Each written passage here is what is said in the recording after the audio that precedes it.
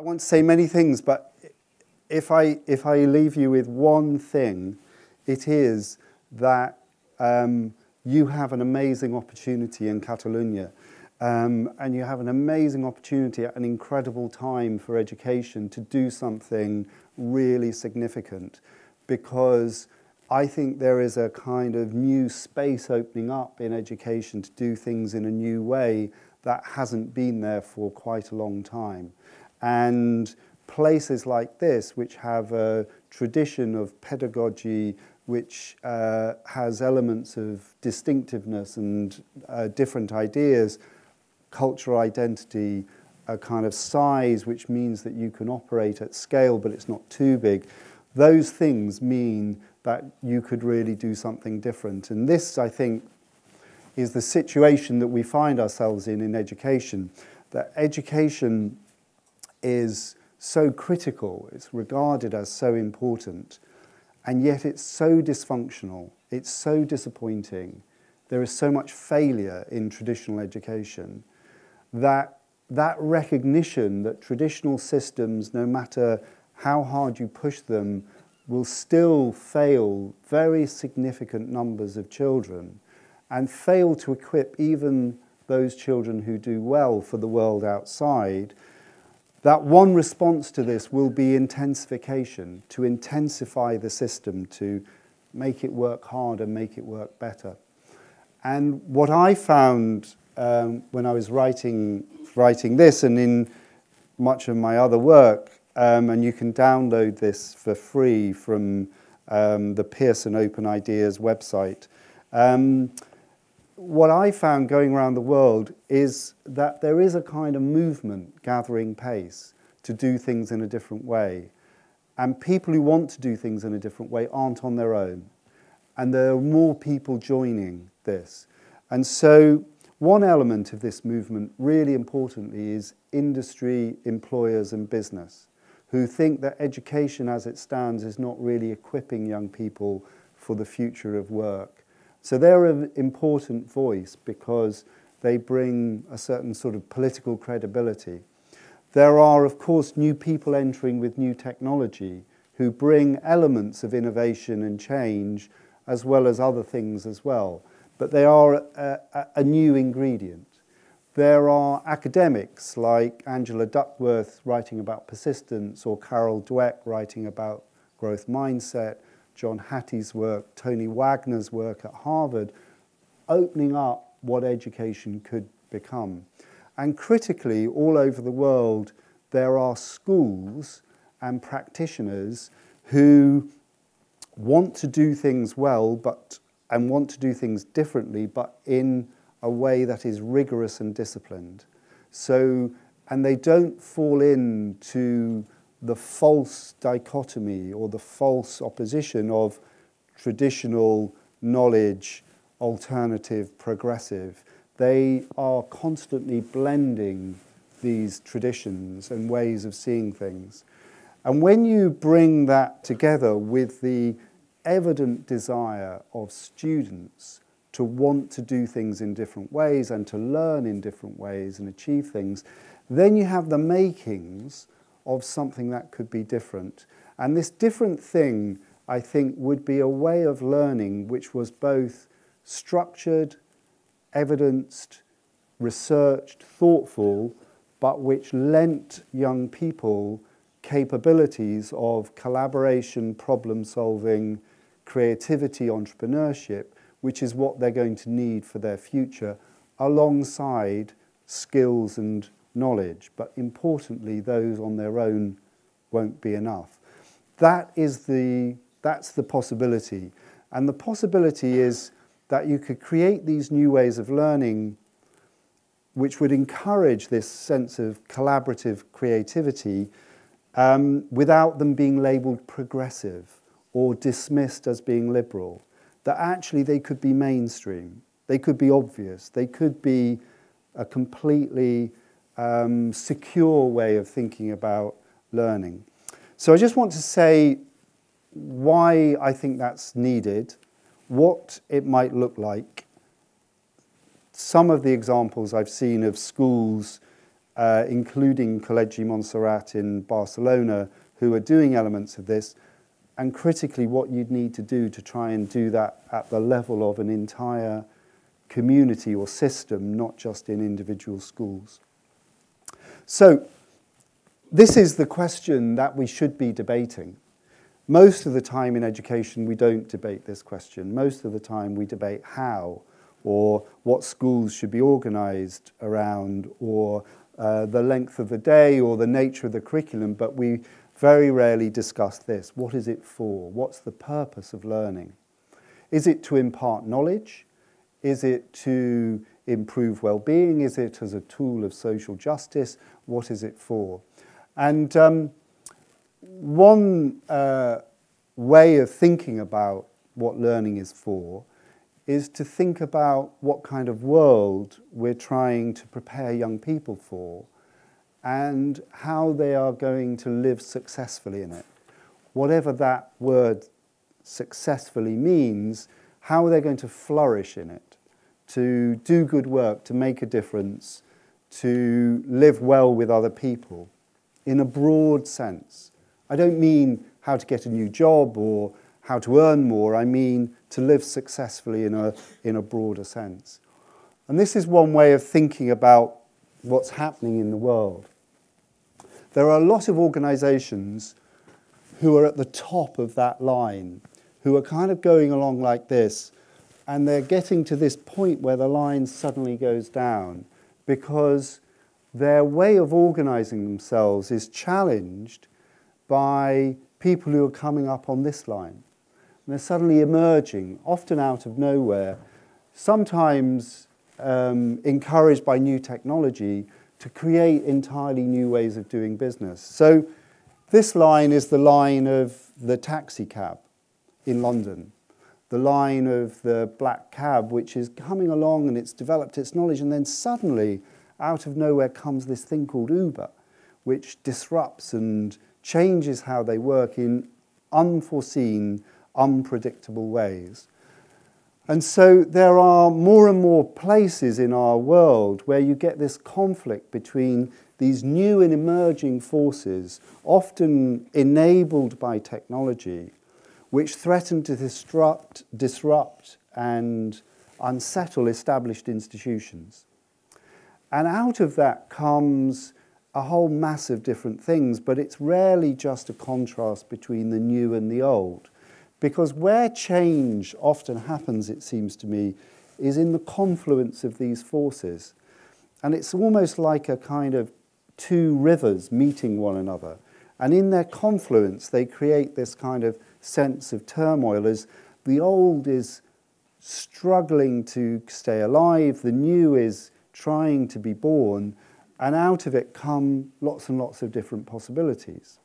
So even if you think about Uber and taxis, there's car sharing, there's driverless cars coming, there's in cities bike sharing, there are new kinds of public transport emerging. Car companies are changing how they think about what cars are. Uh, there's Tesla, the electric car. In other words, the future of mobility is a whole range of different things.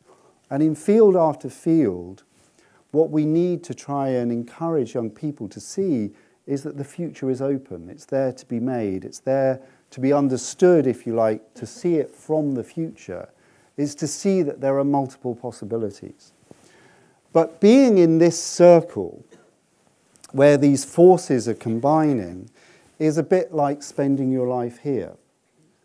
And in a way, this is kind of what I think we should be preparing young people for, is what is it like if you have to be in here? Because this is what life is like. You have to be in the kind of washing machine. And most of the time, I sometimes think there are two kinds of people. There are sort of washing machine people, and there are people who iron. And there are lots of people in education who iron, who would like to kind of get the creases out and to leave everything very neat. Whereas actually the world is a bit like this and you have to be sort of tumbling around with these new and old ideas, and you have to try and make sense of it. So, this is a world of flux, of uncertainty, where bits of the future are uh, discernible, but quite a lot of it has to be created, it has to be adapted, it can't be predicted with absolute certainty. What do we know? We know that we're going to live longer lives and that at the end of those lives we're going to need more care and that through those lives we're probably going to do more things in different ways and that we're probably unlikely to have a single identity or a single job. We know that technology will continue to pervade our lives for good or ill, and that machines will become increasingly intelligent, capable of rapid learning, and that any job which relies on the application of a set of rules will in future be vulnerable to people with an algorithm to do it. Anything that can be routinized may in future be done possibly by a system or a robot, and the human role may be reduced. We know that industrial systems of production will lead us into environmental disaster unless we change them dramatically and rethink them. We know that trust in political systems is declining, that citizens are less and less trusting of politicians and figures of authority, and that more and more citizens are likely to do things together using digital and other networks to achieve change, and that power flows around as well as through political systems. And we know that this creates a whole set of contradictory tendencies in society and so that you see um, both the rise of a more cosmopolitan, open, globalized digital society, and at the same time a deep yearning for a sense of home, of belonging, of attachment. And the places that will really succeed, I think, are not places that don't have these tensions. They are places that will use these tensions creatively in order to create some new kind of synthesis or some new sense of home. Um, and so the task is to not avoid this circle with its flux and uncertainty, but to plunge into it, to be ready for it, to use it creatively, to take the energy and create things with it. That, I think, is what we should be preparing young people for. So, how would you prepare young people for a world like that? Well, in essence, I think it means shifting the uh, center of gravity of education from following instructions to solving problems. Too much of the time, we have regarded education as following instructions. You follow the instructions of a teacher, and then you deliver the right answer when the exam requires it. And the point of education is a kind of 16 year apprenticeship in doing the right thing at the right time, in the right way, when you're asked to do it.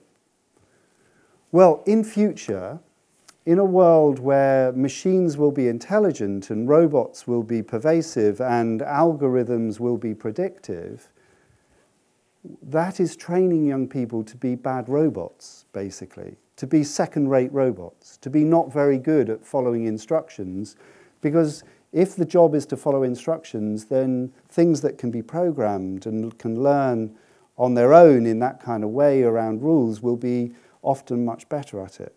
So we need to be ready to not do that. And what does that mean? Well, it means actually education should be about making people more human. The whole point of education is not to prepare people to become better workers with industrial systems. The whole point is to make us more human, more empathetic, more creative, more collaborative, more imaginative, more metaphorical, to do all the things that Google can't do. Put it that way. We should do in education, schools should be places that Google cannot reach and cannot program and cannot predict. Because actually, they're places of such imagination and metaphor and creativity and empathy and feeling that no one in Silicon Valley would have the slightest idea what was happening there because it wouldn't fit the program. So um, I don't know if you do you have in Catalonia self-service tills in supermarkets where you scan items and then you put them in your bag. It's, some of them. It's, it's been a, a, over the last, I would say, two years, it's been a kind of, it's like I remember, do you remember when ATMs were very rare and then suddenly they were everywhere? And so now in, in London, going to a self-service till in a supermarket is a kind of everyday experience, right? So I come home to my tube station at Highbury and Islington and I go to my Waitrose supermarket, I get my bag of shopping and I stand in the queue and I think, will I take my bag to the person who is going to then take each item out and scan it, or will I go to the machine and do it myself? And I think I'm a kind of capable, grown up person. Uh, I, am going to go to the machine. I will do it myself. And so I put my bag down and I get the thing out and I start scanning the items. And usually the machine goes wrong. And then the assistant manager has to come and sort me out, and I feel as if I'm useless. Um, and the people behind me look at me and think, why is that old man trying to scan his shopping? He should have someone looking after him, so on and so forth. But then I'm determined, so eventually I get the hang of it. And then now I can take an entire bag of shopping, and I can take each item out, scan it, put it in the shopping bag and I can get through the whole thing. And there's this pleasing bleep. Each time you scan something, it goes bleep, and then you put it in. And so then I leave the shop carrying my bag, and I think, yes, I have managed to scan all 20 items. And then I think this is really odd because Waitrose, the supermarket, has persuaded me to become a shop assistant for five minutes for free and I feel as if I've achieved something. and then I look at the person whose job it is to scan the items. I think she must think this is really bizarre because, of course, in effect, we are doing her out of a job because me doing it myself with a machine threatens her job. What do we do about the person whose job it is to scan the items? Then, if you think about it for a moment, just think what a stupid job it is to stand in a supermarket all day scanning items. That's not a job that any human should really do because humans are creative. They're thoughtful, they're imaginative, they're empathetic. None of those barcodes was put on by a human, they were put on by machines. And so one of the challenges of the future will be what happens when all this technology means that actually quite a lot of what we do doesn't need to be done by humans. What do we do then? And once the space opens up that we might be able to do other things, creative things, imaginative things, empathetic things, rather than industrial things, how are we preparing ourselves for that? So my worry is that we have education systems inherited from industrial era designs so that we process things. And we're heading for a world where we're going to have to invent our own purposes. Because actually, technology will be so rampant, so powerful, that these processing jobs will become less and less common, poorer and poorer paid, less and less rewarding. And if we're educating people for these processing jobs, we're educating them for defeat. We're educating them for a dead end. So that is the, for me, one of the big questions is what does it mean to be human in a world awash with technology? And how do we educate people to live that kind of life in a world where technology will become not simply a tool for us, but a kind of framework and an environment which encapsulates our world? So, um, one way to solve a problem is to follow instructions. So, if you're trying to put up uh, an IKEA bookshelf, it is not a good idea to have a creative workshop to work out how to do it whilst ignoring the instructions. The best thing, if you're putting up an IKEA bookshelf, is to get the instructions out and follow them step by step. So if the problem is a very defined problem and it's very containable and it's been done many times before, the best thing to do is to follow the instructions. If the problem is a slightly more diffuse problem, say you want to cook a loaf of bread, sourdough bread, then you can follow the instructions, but they don't tell you enough. So you might talk to a chef or someone who knows how to do it, or a teacher. So a good way to solve a problem is to ask someone who knows how to do it, who's done it before. So I'm not saying that there is no room for following instructions, nor am I saying that there is no room for expertise. There is. But many of the problems that exist in that circle, where we're trying to invent new ways to work, new production systems, new political systems, new forms of care, new forms of housing, you name it, these problems don't come with instructions. Or they might come with instructions for a bit of it, but not all of it. And if more of life depends on solving these sorts of complex, diffuse problems, then you need to think of something different. Let me just give you one example of a. We think that uh, complex problems are big problems, but actually, complex problems are very personal problems, they're very small problems. Take my mother in law who's 87, who has dementia. Caring for someone with dementia is a deeply, deeply complicated, complex problem, which is unfolding. There are no rule books, there is no manual, every case is different. It requires attention, empathy. You can learn, but actually, you have to make up a lot of it as you go along. And it doesn't come with a kind of you can't just do it bang, bang, bang. Well, as we get older and more people suffer from chronic conditions like dementia, we're going to have to have a way to create care of activity, of dignity, of purpose for people in a way that we haven't imagined life yet. We're going to have to invent new ways to live. So complex problems aren't necessarily global problems. They can be deeply, deeply intimate and personal problems. So I think that we have to learn how to become complex problem solvers through learning that is structured. So there is an element of progress, of structure, of framework, but it's also very dynamic and it's very relational. And it's a combination, I think, of these four ingredients. The first is knowledge. So knowledge matters. Uh, basic skills, knowing how to read and write, absolutely matter. Um, most countries in the world think that it's important that children have a grasp of uh, language, mathematics, um, some of their history, where they come from, some sense of where they live, uh, and that it may help indeed to learn a language and things like that.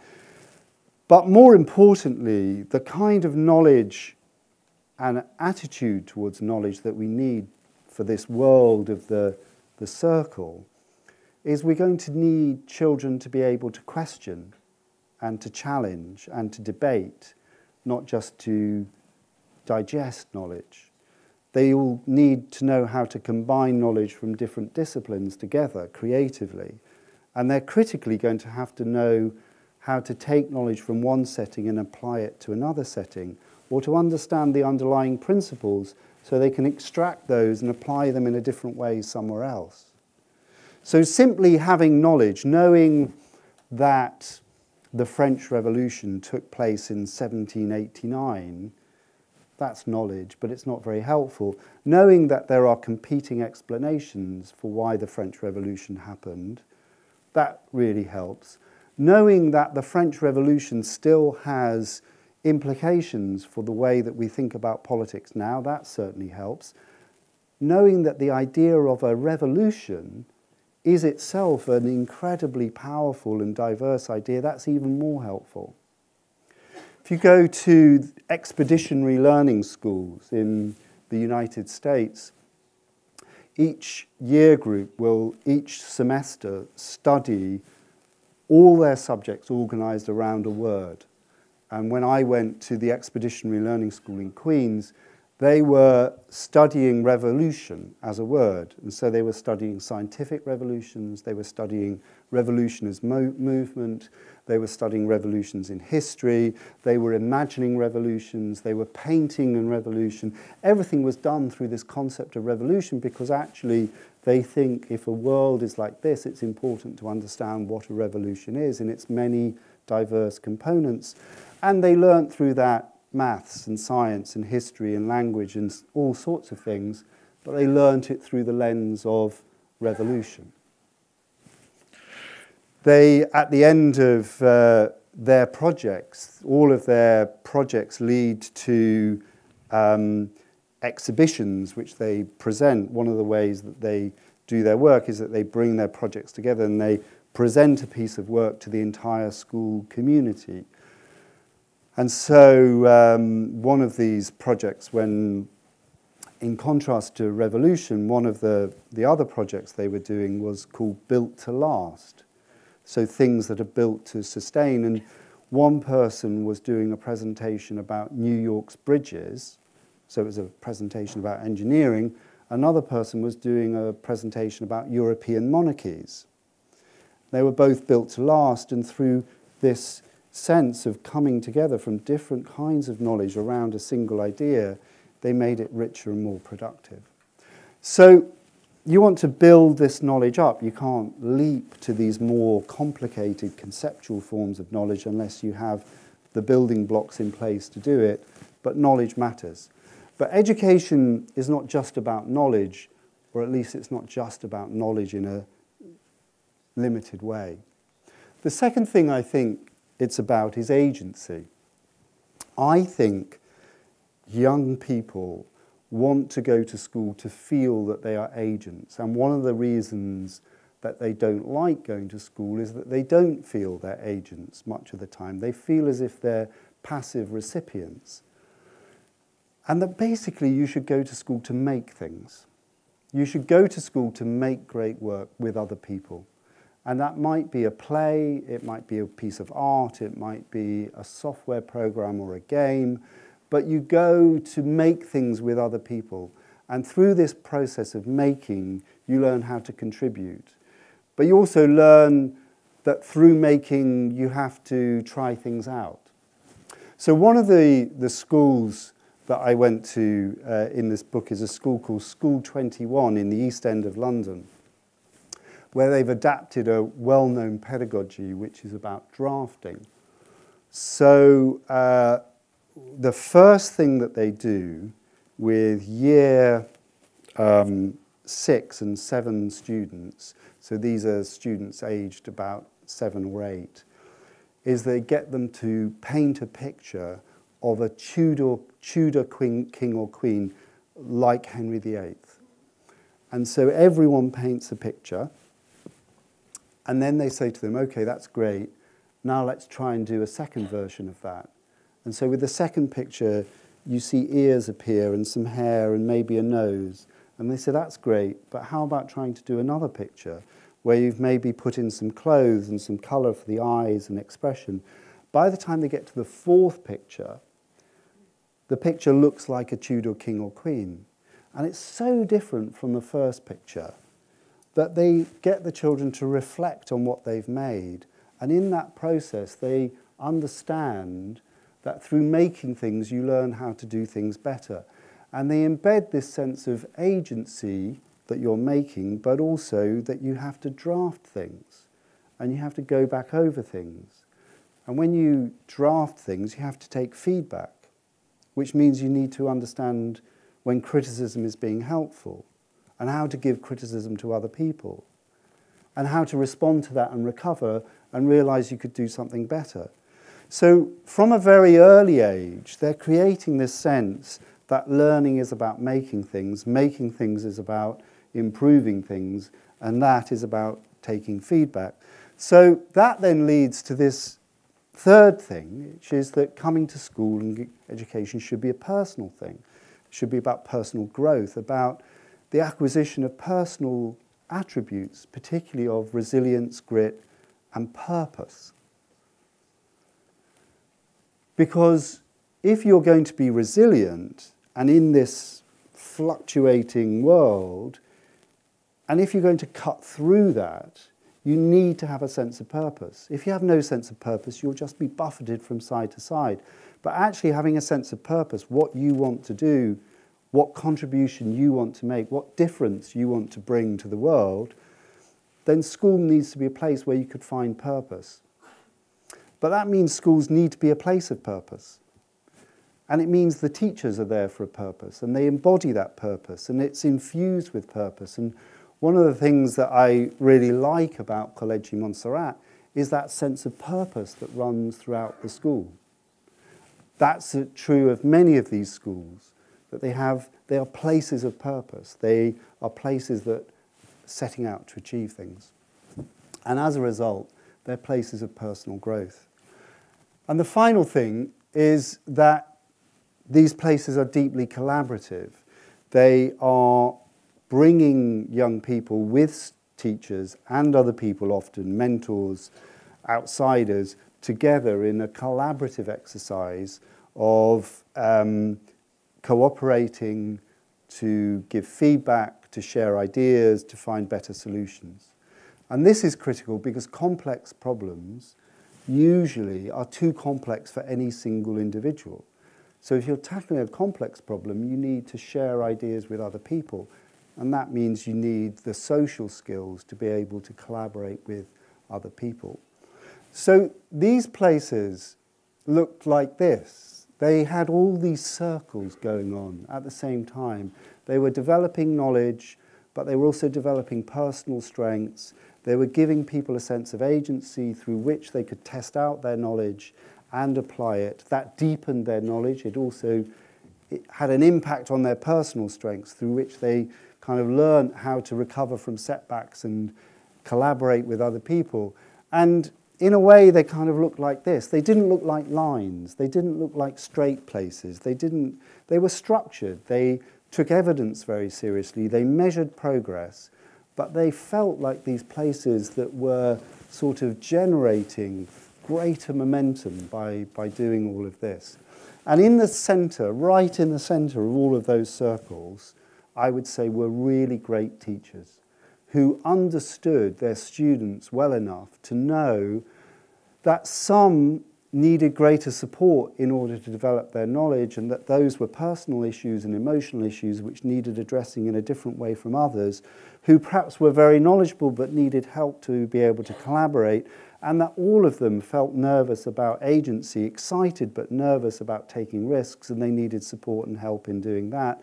But when you go to these places, you see this kind of overlapping of the social and the personal making agency and knowledge. They're not kept in separate silos, but nor are they just sort of mixed up in an ad hoc fashion. And it takes really skillful teaching, I think, to be able to make that possible. And the thing that was true about all of these skill schools was that that was true for the teachers as much as for the children. That these were characteristics of the schools as places, not just for the, the learners, the students, but for the learners who were teachers. So, two characteristics of these places which stood out for me. One was um, they took data very seriously. So they bothered about data about their children. They bothered about knowing where they came from, what their backgrounds were. They tracked their uh, performance and how well they were doing in their subjects. They knew exactly where they were. They weren't slap happy about that. They wanted data and they liked evidence.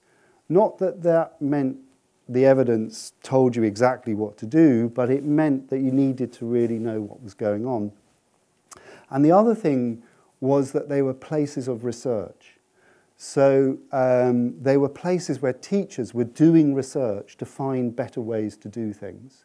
So a, a proportion of the teaching time was devoted to learning together to do better things. So I'll give you one, one example. Um, a sc brilliant school in Melbourne um, run by a guy called Keith McDougall, who'd been a head teacher for 28 years. Often the most radical people in education have no hair or they've, got, they've dyed their hair. In other words, in education, there is no correlation between youth and innovation. Actually, the oldest people are often the most radical because A, they've got the experience, and B, they can remember old ideas that they can bring forward and bring into new ideas and they've got a kind of confidence, a kind of composure. So actually, I think innovation comes from all sorts of people in education, and it doesn't look like innovation. It often doesn't come with an iPad. It does not come dressed in bright colours. It does not come um, looking trendy. Um, actually, the most innovative people that I know don't look innovative. The, the least innovative people come dressed looking innovative because they want to look innovative, whereas the really innovative people like Keith looks like a bank manager. Um, and so what Keith, um, Keith does uh, was he organized groups of his staff to each group, group of three or four, to research a topic each term, a topic that would lead to a better outcome in the classroom. So when I visited his school, Broadmeadows, there was one group who were just looking at feedback. And they were looking at different ways to give feedback to students, different ways for students to give feedback for teachers. And this group had between them read 20 academic papers. So they were doing proper, thoughtful research. And they were doing that because it really mattered to them that they wanted to have a well grounded practice. So these are places of growth for teachers. They're places of learning and research. And that teachers themselves should go through all of these kinds of circles if they're expecting the students to do so. So I think the future of education is to explore that, basically. How could you make that kind of experience, which you can't instruct, you can't teach in a traditional way, you have to create these dynamic experiences for people so that they can acquire and learn these things. How would you make that possible at much greater scale for millions of children, not just handfuls? Well, I think there are, there are um, several things in this. One is I think you need dynamic teachers. And so I think there are important questions about whether you can develop, equip, train, support, guide, nurture, create collaborations which allow teachers to take the risks involved in doing this. It's not easy. It's um, unsettling to authority. Sometimes it's easier to kind of revert to normal. Uh, often there are difficult classes and difficult students with whom you need to have very difficult conversations. It's not automatically successful. So I think there's a way of thinking about what the role of teaching is, but the thing that came out of it for me was the absolutely critical creative role of really, really good, masterful teachers who knew what they were doing and who could create these environments and these experiences for children more important than ever. Um, a second thing would be a dynamic curriculum. So what would it be if you had a curriculum that didn't just adjust every five or ten years, but could adapt and adjust? And maybe that different schools could take different bits, but still satisfy the overall curriculum, and which was able to blend things in new ways so that as with those expeditionary learning schools, you weren't just doing geography over here and history over here and science over there, but you could find ways of showing how you could combine those, and you got rewarded for showing that that was possible. The most important thing, however, is this, is that um, assessment, standardized testing, is like um, Agent Orange basically. It's sort of spraying this kind of killing substance over most of the education system. It is the silent killer of creativity, in my view. And so we have standardized tests of individual knowledge, of content, for a world where we need to encourage people to solve problems in new ways, collaborating, where the content matters, but it's also what you do with it that matters, and where you can't tell what a good answer is absolutely at the front. You've got to see what can come out, and the process might matter as much as the outcome. And so I think there's a whole agenda here of people all around the world who are now developing new approaches to measuring resilience, collaboration, entrepreneurship, creativity, and finding ways to be able to say to parents and politicians, we can do this without it being a risk, without it just being an experiment. We can find ways of doing it in a more structured way. So if um, in Catalonia you were able to describe what dynamic learning was for an entire system, if you were to be able to develop teachers and others who are able to do that on a daily basis, if you could create a curriculum that was designed to make that possible um, by creating this sort of blend of these features of knowledge and other things, and most importantly, if you could come up with a way of young people showing what they can do through performance, through their action, through what they can make, what they can do in the real world, then this would be a massive step forward for you and for the rest of the world. And what I'm absolutely sure of is that there are the ingredients developing for something um, much bigger. So I think the legitimacy of the existing system can no longer be taken for granted. I think there's mounting evidence of its dysfunction. I think there are more and more people experimenting with new ways to do things. And critically, I think there are elements that uh, you would regard as mainstream, particularly employers, and some parents who are now prepared to think afresh about what education could be.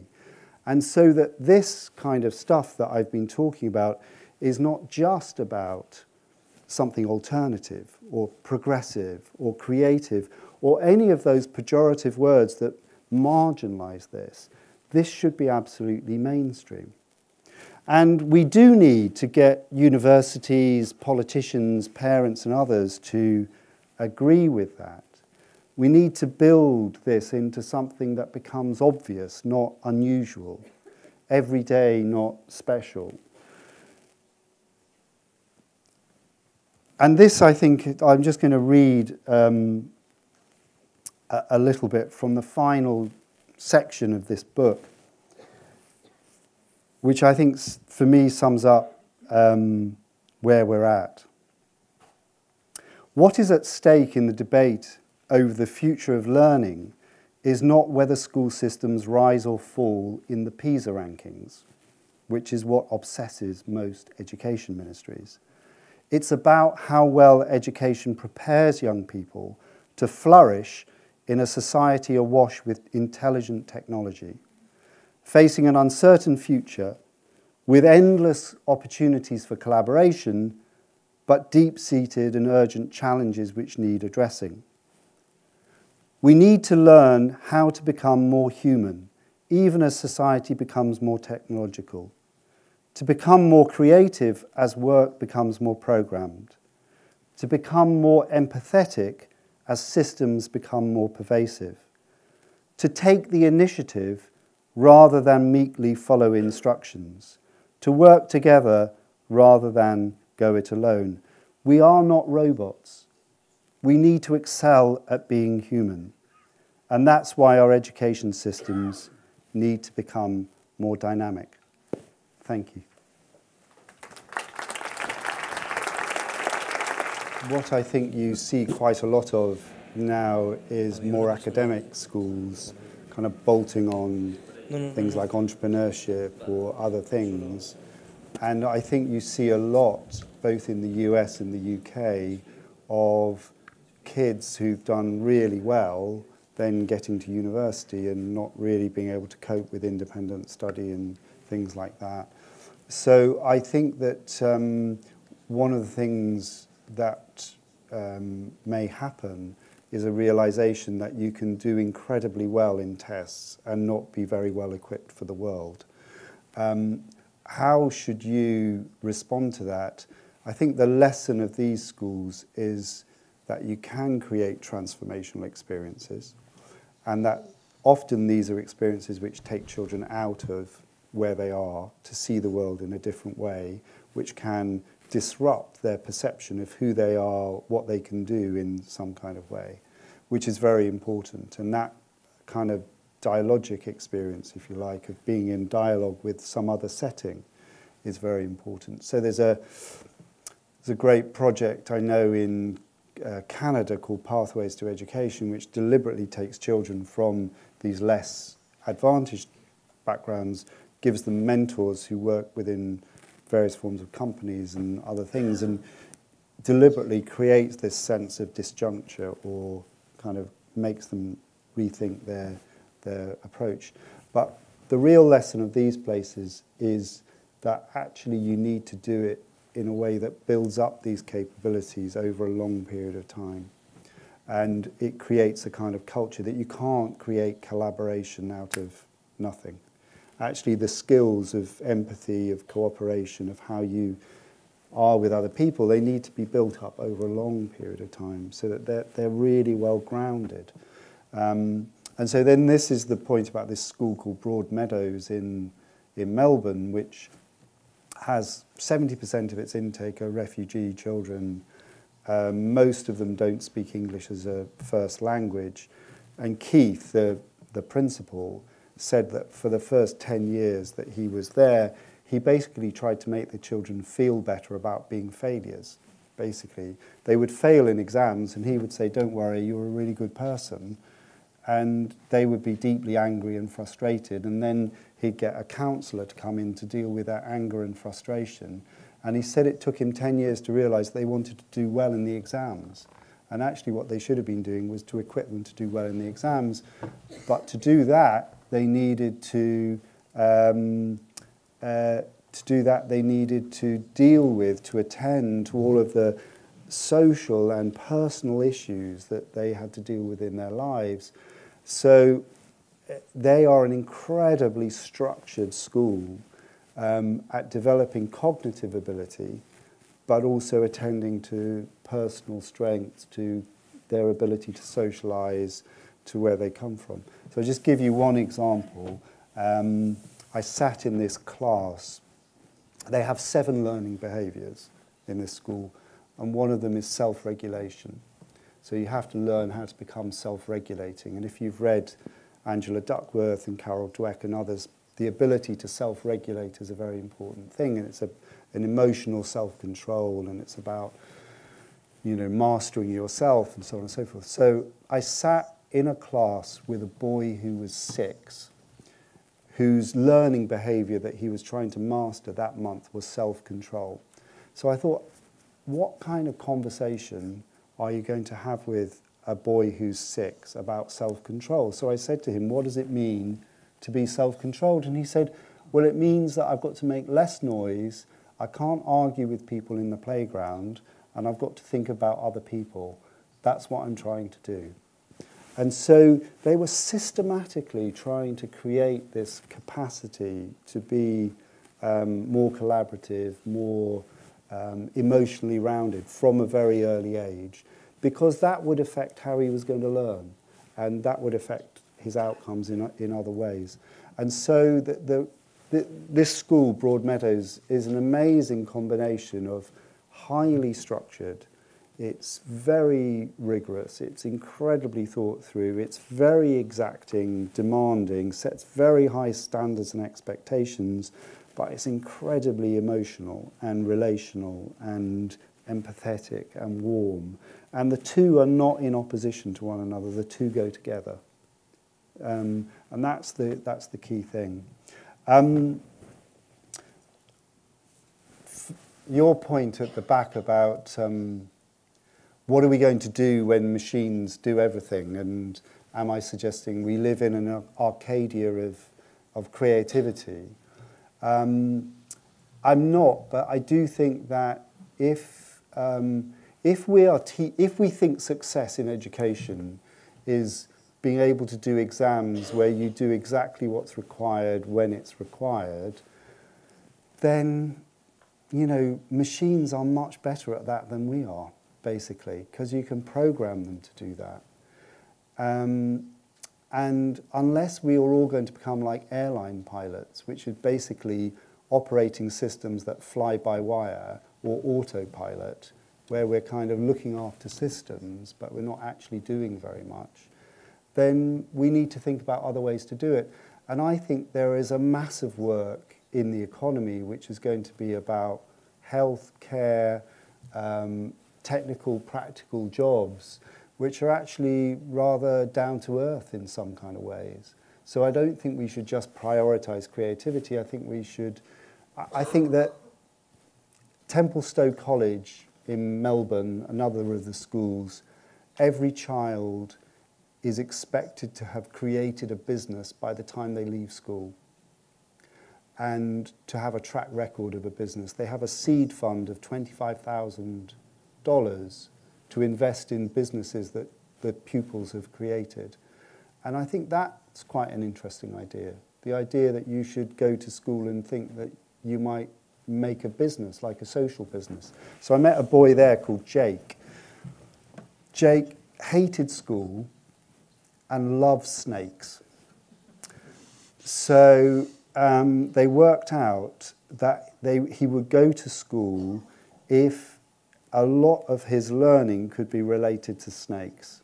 And this was a boy who was very able, very talented, but had been very badly bullied and was very disaffected and very vulnerable. So lots of extra space. In a room, they create this snake room. So how do you get more snakes? Um, so it's a brilliant school.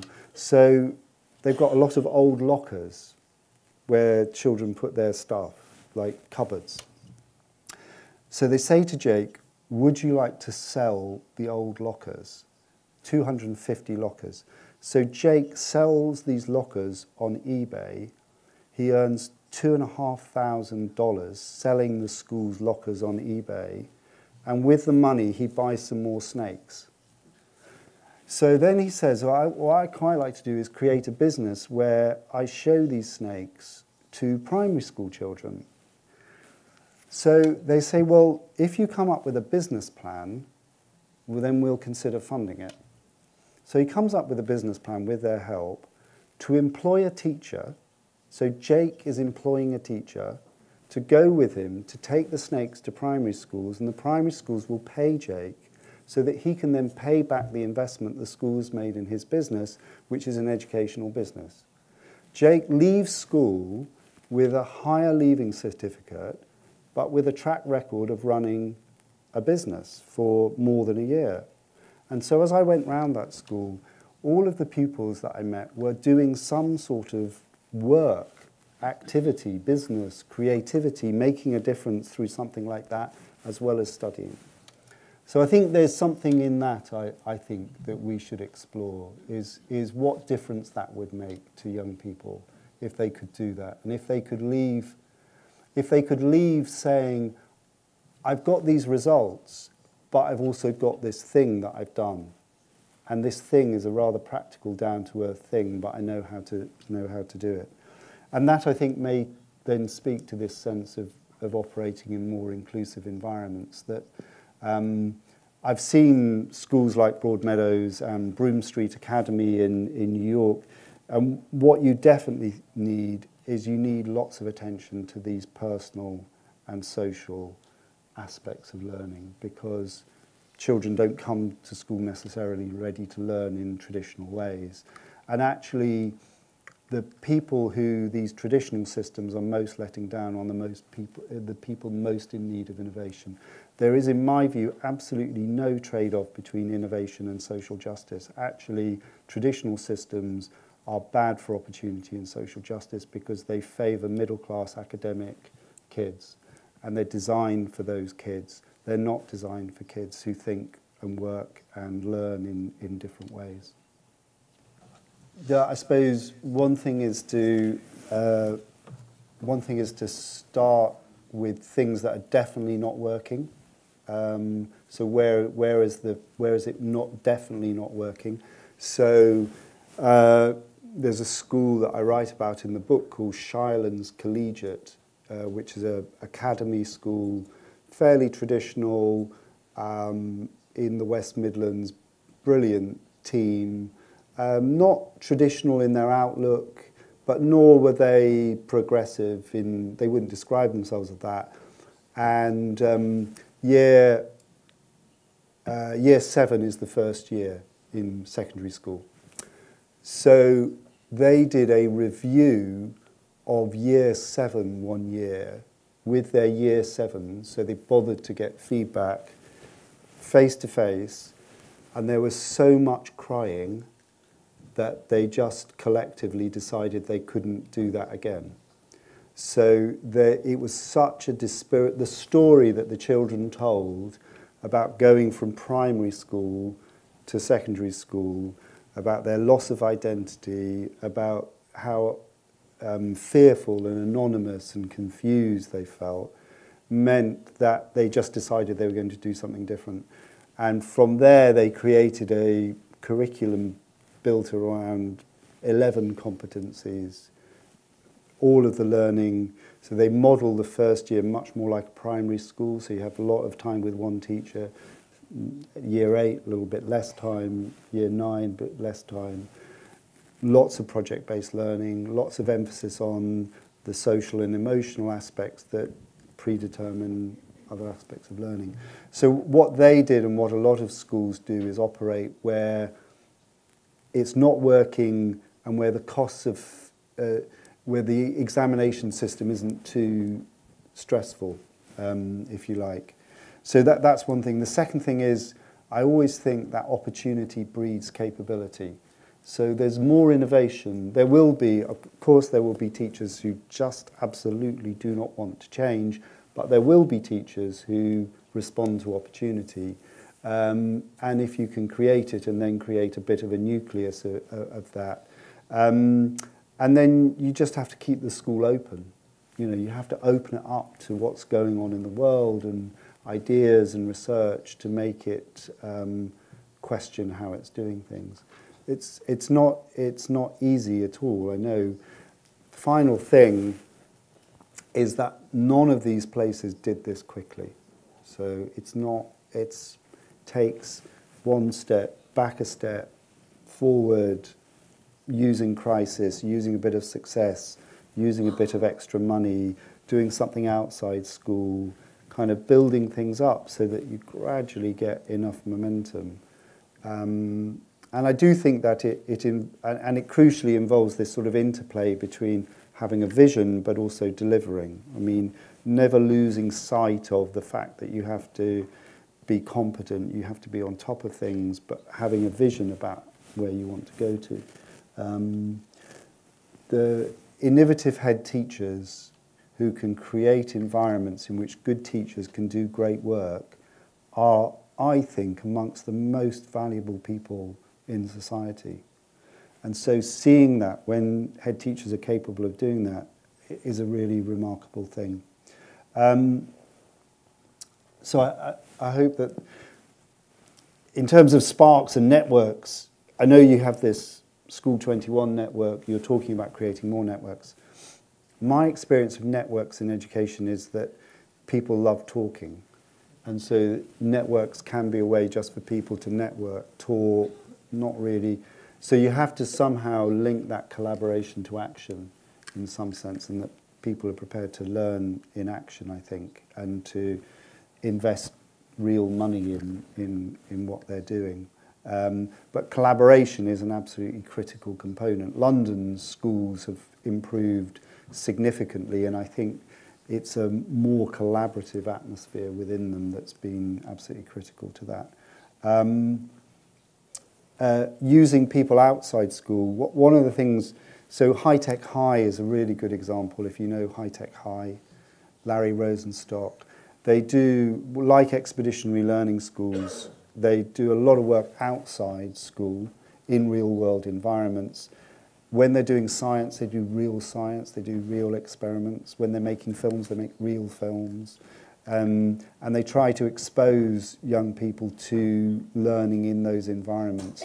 That of, of, obviously requires some facilitation by skilled teachers who understand what's going on, but that combination is really powerful. The, the thing that I'm involved in, Apps for Good, which we created, basically it's a way to bring together teachers who want to teach coding, um, app development and things like that, children who want to learn with companies who want to help. And often the people in the companies, we have 800 mentors who mentor the children on the courses.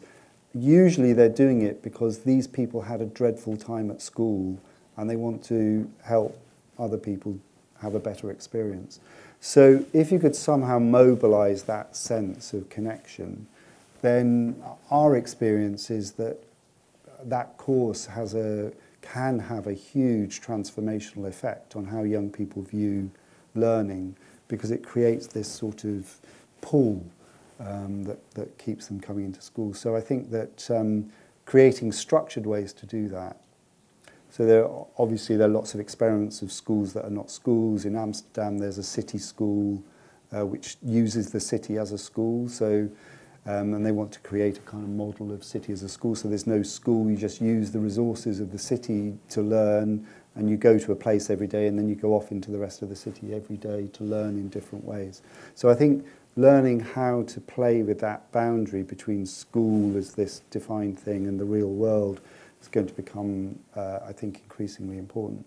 Um, and um, teachers and knowledge is, is very, very important, of course, but making knowledge powerful is about using knowledge with other things. And I think that that's why when I go to these places, they've, that philosophy of knowledge and agency, collaboration and personal growth is a philosophy for the whole school. It's not just for the children, and it's a, it's a way of thinking about what it means to be a good practitioner as well as being a good student. And so I think that that is um, developing in teachers this capacity to be able to engage with these other ways of working, which doesn't threaten their knowledge but instead amplifies it, is, is very, very important. Well, I think that what happens to content is what happen, what, what's gonna, what is happening to just content across the piece is that it becomes more and more of a commodity unless it's very different. Um, and so this is funded, this work by Pearson. Pearson are a huge exam testing, education textbook business, and it's on that line. Pearson. It's actually it's just at that point. Um, they're looking over the precipice, and actually they can't see a business in 10 years' time. And there are more and more businesses in more and more fields who are sort of looking like that and wondering what their future might be. Um, so what is it? It will be uh, content plus community or content plus service or something in addition to that, which pure content. So it's like pure knowledge. Just having knowledge is not enough. You need to do these other things with it. So, and that means that there will be then new players and so on and so forth. And I mean, one of my worries about education it's very, um, is that if education is simply a content delivery business, so that if you follow the content, you do the exam, you get the qualification, then why wouldn't you just go to Google to get that eventually? Or Apple or Amazon or whoever it was? Because that's what we do with music or films or Netflix or what have you. And, and it's very telling to um, listen to uh, the guy who founded Udacity, the, the online kind of digital learning kind of platform, massive online courses turned into a business. um, because they can deliver a technical degree in six months rather than three years, which almost has a guarantee of getting a job at the end of it. So if education is simply about getting a qualification to get a job, then there are going to be people who come up with more effective ways of doing that. And uh, that's only going to increase the sort of sense of competition, which is why education needs to become about something that can't be commodified or can't be turned into technology. And that's why I say it should be about becoming more human.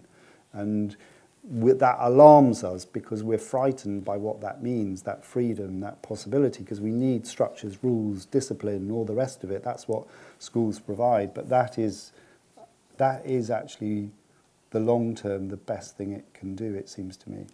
Um, so I just want to link um, your comment, which is about purpose and values, with this gentleman's comment, which is basically about, to paraphrase it, capitalism is completely fucked. I mean, basically, capitalism is in a complete mess. Um, and, and these are very important questions because your question, in effect, your question is how should we be, in the language of Paulo Freire, how should we be educating children for critical consciousness to be critical engagers with society rather than just willing workers? And actually, we're going to need to reinvent companies in future, what a company is and what employment is, what a job is. We're going to have to have young people prepared to ask questions about that, not just fill out the form and hope they get the job, because we're going to need to reinvent capitalism because capitalism is so unequal and so unstable and so unbalanced. And this is a huge task, you know, to reinvent work, to reinvent money and banks to reinvent companies and what they are, but that is the task that the generation coming through school is going to have.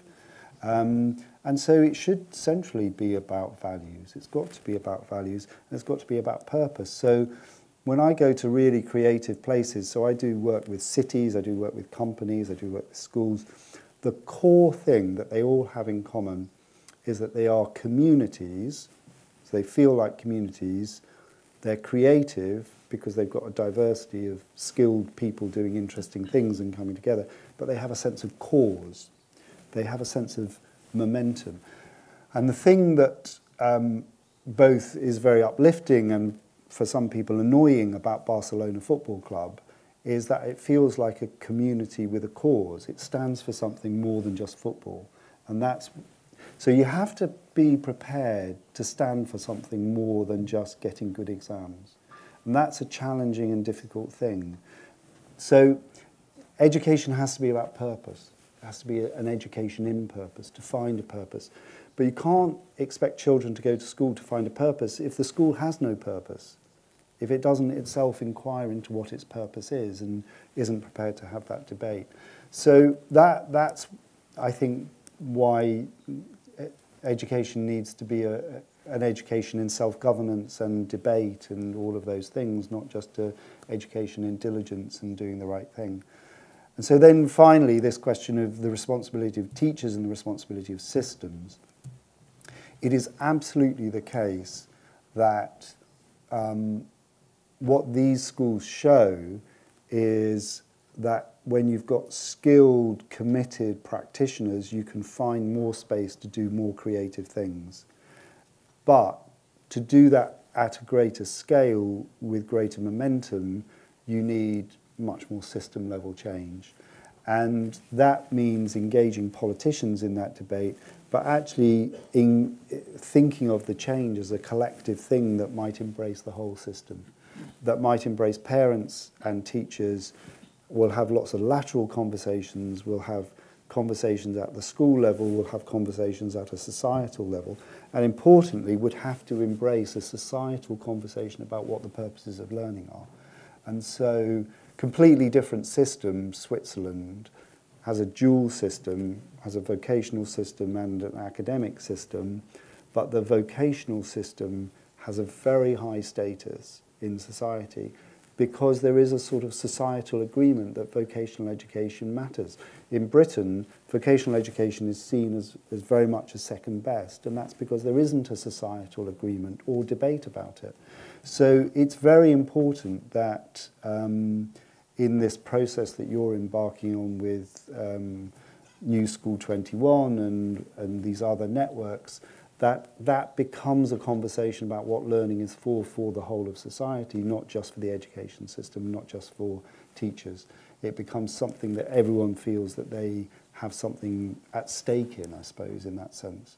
Um, so, yeah, definitely it's got to become something bigger. But if you were to do that, then you could imagine in a society the size of Catalonia with however many 7.5 million people, a very successful economy, in very many ways a successful society, creating a kind of school system that would be the envy of many other places, it seems to me. Because you have some of the ingredients here of your cultural specificity, your values, um, your tradition, which and this sort of openness to the future, which is a quite a rare combination. And uh, I think that that's a real opportunity.